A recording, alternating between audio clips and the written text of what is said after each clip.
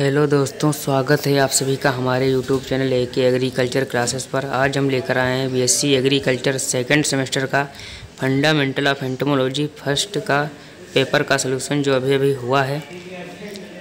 तो अपना अपना सब लोग क्वेश्चन मिला लीजिए। आज की हमारा बुकलेट सीरीज़ है ए तो चलिए शुरू करते हैं। आइए देखते हैं, आज का हमारा पहला क्वेश्चन है कीट शब्द की उत्पत्ति किससे हुई है? तो कीट की शब्द की उत्पत्ति लैटिन शब्द से हुई है। अगला क्वेश्चन है हमारा, मकड़ी किस वर्ग के अंतर्गत आती है? तो मकड़ी अरेक्निडा के अंतर्गत आती है। अगला क्वेश्चन हमारा क्वेश्चन नंबर तीन, कीटों में कितने पंख पाए जाते हैं? तो कीटों में दो जोड़ी पंख पाए जाते हैं, इसका ऑप्शन नंबर बी राइट हो जाएगा। क्वेश्चन नंबर चार है श्रृंगिका किसका उपांग है? तो श्रृंगिका सिर का उपांग है, इसका ऑप्शन नंबर ए राइट हो जाएगा। क्वेश्चन नंबर पाँच है, वयस्क कीटों के उधर में कितने पैर पाए जाते हैं? तो वयस्क कीटों के उधर में तीन जोड़ी पैर पाए जाते हैं, इसका ऑप्शन नंबर सी राइट हो जाएगा। अगला क्वेश्चन है हमारा छः नंबर इनमें कौन बाह्य कंकाल की सबसे ऊपरी परत है? तो क्यूटिकुलिन बाह्य कंकाल की सबसे ऊपरी परत होती है, इसका ऑप्शन नंबर ए राइट हो जाएगा। अगला क्वेश्चन हमारा सात नंबर है, निम्नलिखित में कौन क्यूटिकुलर क्यूटिकल स्रावित करता है? तो इसमें हाइपोडर्मिस क्यूटिकल स्रावित करता है। इसका ऑप्शन नंबर सी राइट हो जाएगा। अगला क्वेश्चन हमारा आठ नंबर है। कीटों के शरीर के अधर तल पर पाए जाने वाले स्लेराइट्स कहलाते हैं। तो स्टर्नर्म कहलाते हैं। इसका ऑप्शन नंबर बी राइट हो जाएगा। अगला क्वेश्चन हमारा नौ नंबर है। पंच, पश्चोन्मुखी सिर पाया जाता है तो यह बग में पाया जाता है। इसका ऑप्शन नंबर ए राइट हो जाएगा। क्वेश्चन नंबर दस है, कीट के सिर का सबसे पृष्ठीय सकलेराइट है तो इसका ऑप्शन नंबर बी राइट हो जाएगा, वर्टेक्स। क्वेश्चन नंबर ग्यारह है, श्रृंगिका विभक्त होती है तो श्रृंगिका तीन खंडों में विभक्त होती है, इसका ऑप्शन नंबर बी राइट हो जाएगा। अगला क्वेश्चन है हमारा, बारह नंबर, मुक्ताकार श्रृंगिका पाई जाती है तो मुक्ताकार श्रृंगिका दीमक में पाई जाती है, इसका ऑप्शन नंबर डी राइट हो जाएगा। अगला क्वेश्चन है हमारा, तेरह नंबर द्विकंघाकार श्रृंगिका किसमें पाई जाती है? तो द्विकंघाकार श्रृंगिका रेशम कीट में पाई जाती है। इसका ऑप्शन नंबर सी राइट हो जाएगा। अगला क्वेश्चन हमारा चौदह नंबर मैक्सिला भाग है तो मैक्सिला मुखांग का भाग होता है। इसका ऑप्शन नंबर बी राइट हो जाएगा। क्वेश्चन नंबर पंद्रह है, कौन सा भाग मुख गुहा को आगे से ढका रखता है? तो लेब्रम गुहा को आगे से ढका रखता है। इसका ऑप्शन नंबर ए राइट हो जाएगा। क्वेश्चन नंबर सोलह है, स्पंजाकार मुखांग किसमें पाया जाता है? तो स्पंजाकार मुखांग तितली में पाया जाता है। इसका ऑप्शन नंबर सी राइट हो जाएगा। क्वेश्चन नंबर सत्रह है, चुभोने व चूसने वाले मुखांग किसमें पाए जाते हैं? तो चुभोने व चूसने वाले मुखांग, ये तीनों में पाए जाते हैं। माहू में, नंबर बी श्वेत मक्खी में, नंबर सी, बग में या मातकुड़ में। इसका ऑप्शन नंबर डी राइट हो जाएगा, उपयुक्त सभी। क्वेश्चन नंबर अठारह है, प्रीमेंटम किससे संबंधित है? तो प्रीमेंटम लेबियम से संबंधित है, इसका ऑप्शन नंबर बी राइट हो जाएगा। क्वेश्चन नंबर उन्नीस है, पंख किसके उपांग हैं? तो पंख वच्छ के उपांग होते हैं। इसका ऑप्शन नंबर बी राइट हो जाएगा। क्वेश्चन नंबर बीस है ट्रोकेंटर किसका भाग है? तो ट्रोकेंटर पैर का भाग होता है। इसका ऑप्शन नंबर सी राइट हो जाएगा। क्वेश्चन नंबर इक्कीस है, टिड्डे के कूदने वाले पैर हैं। तो टिड्डे के कूदने वाले पैर पश्चपाद होते हैं। इसका ऑप्शन नंबर सी राइट हो जाएगा। अगला क्वेश्चन है हमारा बाईस नंबर हेमेलाइट्रा पंख किसमें पाया जाता है? तो हेमेलाइट्रा पंख बग में पाया जाता है। इसका ऑप्शन नंबर ए राइट हो जाएगा। अगला क्वेश्चन हमारा तेईस नंबर है। कीटों के पंख में कितने कोण पाए जाते हैं? तो कीटों के पंख में तीन कोण पाए जाते हैं। ऑप्शन नंबर बी राइट हो जाएगा। अगला क्वेश्चन हमारा चौबीस नंबर है। सबसे आगे वाली प्रमुख सिरा है। तो सबसे आगे वाली प्रमुख सिरा कोष्ठा है। इसका ऑप्शन नंबर ए राइट हो जाएगा। क्वेश्चन नंबर पच्चीस है हेम्यूलाई पंख संयोजी उपकरण किसमें पाया जाता है? तो हेम्यूलाई पंख संयोजी उपकरण मधुमक्खी में पाया जाता है। इसका ऑप्शन नंबर डी राइट हो जाएगा। क्वेश्चन नंबर छब्बीस है, किस कीट में पंख संयोजी उपकरण नहीं पाया जाता है? तो यह सलभ में नहीं पाया जाता। है इसका ऑप्शन नंबर सी राइट हो जाएगा। क्वेश्चन नंबर सत्ताईस है, टिड्डे का उदर कितने खंडों से बना होता है? तो टिड्डे का उदर दस खंड से बना होता है। इसका ऑप्शन नंबर सी राइट हो जाएगा। क्वेश्चन नंबर अट्ठाईस है, किस कीट में अंड रोपक डंक में परिवर्तित हो जाता है तो इसका ऑप्शन नंबर ए राइट हो जाएगा, बग या मतकुड़ अगला क्वेश्चन हमारा उनतीस नंबर है। वह सिरा जो दो लंबाकार सिराओं को जोड़ती है, कहलाती है तो इसका ऑप्शन नंबर बी राइट हो जाएगा, आड़ी सिरा। अगला क्वेश्चन है हमारा तीस नंबर गिजड़ किसका भाग है? तो गिजड़ मध्य प्रणाली का भाग होता है, इसका ऑप्शन नंबर बी राइट हो जाएगा।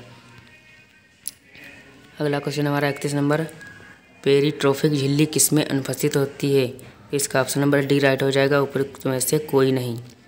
अगला क्वेश्चन हमारा बत्तीस नंबर है, भोजन का पाचन व अवशोषण कहाँ होता है? तो भोजन का पाचन व अवशोषण मध्य प्रणाली में होता है, इसका ऑप्शन नंबर बी राइट हो जाएगा। क्वेश्चन नंबर तैंतीस है, पश्च प्रणाली को यह भी कहा जाता है तो पश्च प्रणाली को प्रोक्टोडियम कहा जाता है, इसका ऑप्शन नंबर ए राइट हो जाएगा। अगला क्वेश्चन हमारा चौंतीस नंबर है, कीटों में उत्सर्जन किसके द्वारा होता है? तो कीटों में उत्सर्जन मेल्फिगियन ट्यूबुल्स के कारण होता है। अगला क्वेश्चन हमारा पैंतीस नंबर है कीटों में प्रमुख रक्त शर्करा है तो कीटों में प्रमुख रक्त शर्करा ट्रेहलोज कहलाती है। इसका ऑप्शन नंबर सी राइट हो जाएगा। अगला क्वेश्चन हमारा छत्तीस नंबर है, मृत कोशिकाओं को निगलने वाली रक्त कोशिकाएँ कहलाती हैं तो मृत कोशिकाओं को निगलने वाली रक्त कोशिकाएँ फेगोसाइड कहलाती हैं। इसका ऑप्शन नंबर बी राइट हो जाएगा। अगला क्वेश्चन हमारा सैंतीस नंबर अफरेंट न्यूरॉन को यह भी कहा जाता है तो अफरेंट न्यूरॉन को सेंसरी न्यूरॉन भी कहा जाता है। इसका ऑप्शन नंबर बी राइट हो जाएगा।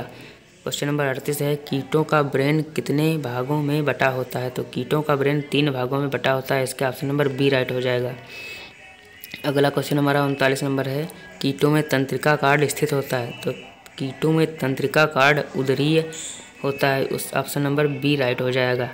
क्वेश्चन नंबर चालीस है, नर कीटों में कितने वृषण पाए जाते हैं? तो इसका ऑप्शन नंबर ए राइट हो जाएगा एक।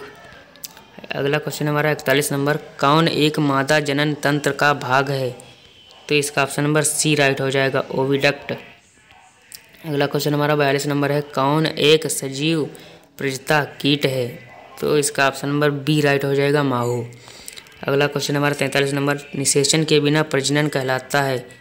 तो निषेचन के बिना प्रजनन पार्थोजेनेसिस कहलाता है। इसका ऑप्शन नंबर बी राइट हो जाएगा। क्वेश्चन नंबर चवालीस है, ट्रेकियल तंत्र संबंधित है। तो ट्रेकियल तंत्र श्वसन से संबंधित है। इसका ऑप्शन नंबर डी राइट हो जाएगा। अगला क्वेश्चन हमारा पैंतालीस नंबर। टिड्डे में किस प्रकार की श्वास रंध्र व्यवस्था पाई जाती है? तो टिड्डे में होलोन्यूस्टिक श्वास रंध्र व्यवस्था पाई जाती है। इसका ऑप्शन नंबर बी राइट हो जाएगा। क्वेश्चन नंबर छियालीस है, जिस सक्लेराइट पर श्वास रंध्र स्थित होता है, उसे क्या कहते हैं? तो उसे इसका आंसर हमें मिला नहीं है। कृपया आप लोगों को पता हो तो कमेंट बॉक्स में ज़रूर बताएँ। अगला क्वेश्चन हमारा सैंतालीस नंबर है। पूर्ण रूपांतरण में कितनी अवस्थाएँ पाई जाती हैं? तो पूर्ण रूपांतरण में चार अवस्थाएँ पाई जाती हैं। इसका ऑप्शन नंबर बी राइट हो जाएगा। क्वेश्चन नंबर अड़तालीस अड़तालीस है। सी आकृति वाले ग्रभ कहलाते हैं। तो सी आकृति वाले ग्रभ कंपोडिफॉर्म कहलाते हैं। इसका ऑप्शन नंबर बी राइट हो जाएगा। क्वेश्चन नंबर उनचास है कैटरपिलर में कितने उदरीय पाद पाए जाते हैं? तो इसमें पाँच जोड़ी उदरीय पाद पाए जाते हैं। इसका ऑप्शन नंबर सी राइट हो जाएगा। पचास नंबर है क्वेश्चन मैगट में कितने पैर पाए जाते हैं? तो मैगट में तीन जोड़ी पैर पाए जाते हैं। इसका ऑप्शन नंबर सी राइट हो जाएगा। अगला क्वेश्चन हमारा, वर्गीकरण की मूल इकाई है। तो वर्गीकरण की मूल इकाई स्पीसीज होती है। इसका ऑप्शन नंबर डी राइट हो जाएगा। अगला क्वेश्चन है हमारा बावन नंबर। दो निर्मोचन के बीच के अंतराल को कहते हैं। तो दो निर्मोचन के बीच के अंतराल को स्टेडियम कहते हैं। इसका ऑप्शन नंबर ए राइट हो जाएगा। क्वेश्चन नंबर तिरपन है हमारा गढ़ कोलियोप्टेरा के लार्वा को कहते हैं। तो गढ़ कोलियोप्टेरा के लार्वा को कैटरपिलर कहते हैं। सॉरी इसका ग्रब कहते हैं। इसका ऑप्शन नंबर डी राइट हो जाएगा। अगला क्वेश्चन है हमारा चौवन नंबर माहू किस गढ़ के अंतर्गत आता है? तो माहू हेमिप्टेरा के अंतर्गत आता है क्वेश्चन नंबर। इसका ऑप्शन नंबर बी राइट हो जाएगा। अगला क्वेश्चन हमारा पचपन नंबर। किस श्रेणी में पंखों का आंतरिक विकास होता है? तो इंडो इंडोटेरिगोटा में पंखों का आंतरिक विकास होता है। इसका ऑप्शन नंबर सी राइट हो जाएगा। अगला क्वेश्चन हमारा छप्पन नंबर। टिड्डा किस गढ़ के अंतर्गत आता है? तो टिड्डा आर्थोप्टेरा गढ़ के अंतर्गत आता है। इसका ऑप्शन नंबर सी राइट हो जाएगा। अगला क्वेश्चन है हमारा सत्तावन नंबर। निम्नलिखित में से कौन सामाजिक कीट है? तो सामाजिक कीट दीमक होता है। इसका ऑप्शन नंबर बी राइट हो जाएगा। अगला क्वेश्चन हमारा चना का फली वेधक किस कुल के अंतर्गत आता है? तो चना का फली वेधक नागटूडी के अंतर्गत आता है। इसका ऑप्शन नंबर ए राइट हो जाएगा।